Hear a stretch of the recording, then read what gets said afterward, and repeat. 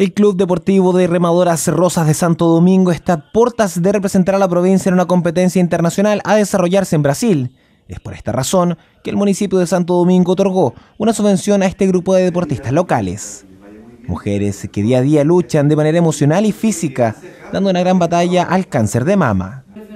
Con sentimientos encontrados, nervios y mucha ansiedad, se encuentran las remadoras que tomarán parte de esta competencia deportiva internacional Así lo señaló Rosa Oliva Serrano, presidenta del Club Remadoras Rosas de Santo Domingo, agradeciendo el aporte de la municipalidad y el desayuno con el que compartieron con las autoridades, pero también aseguró que en este encuentro van a representar con el alma y el corazón a la comuna, la provincia y el país. Y estamos súper nerviosas y contentas, tenemos hartos sentimientos encontrados porque logramos lo que queríamos eh, vamos 19 remadoras y vamos a representar con el alma, con el corazón a Chile y a la provincia y a la comuna de Santo Domingo y a todos los que nos quieran acompañar. Para María Gema Vélez, tesorera y una de las fundadoras del Club Remadoras Rosas de Santo Domingo, esta obra es muy valiosa porque se ha transformado en remar por la vida para seguir rescatando a otras mujeres que padecen esta enfermedad del cáncer de mama. Remar por la vida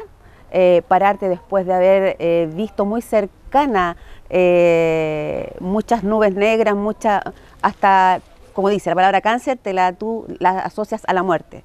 Pero gracias a Dios y a la interés de, estas mujeres que están acá presentes con nosotras, podemos decir que no, que le ganamos al cáncer. Como un ejemplo de vida y experiencia maravillosa calificó Maritza Hernández Farfán participar de esta agrupación a la que se integró al tiempo de haberse formado y transformándose en su primera preocupación día a día. Y ver la alegría, ver la capacidad de eh, resiliencia que tienen frente a una enfermedad que, como decía Gemita, las bota, eh, para mí fue una experiencia maravillosa y me enamoré del equipo. Entre el 24 y el 29 de octubre de este año se realizará en Brasil este encuentro anual continental de equipos de remadoras, el cual se había suspendido por la pandemia.